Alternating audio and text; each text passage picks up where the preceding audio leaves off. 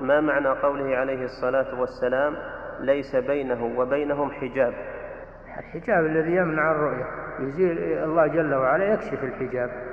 ولو كان الحجاب موجودا ما رأوه لكنه كشفه جل وعلا وتجلى لهم.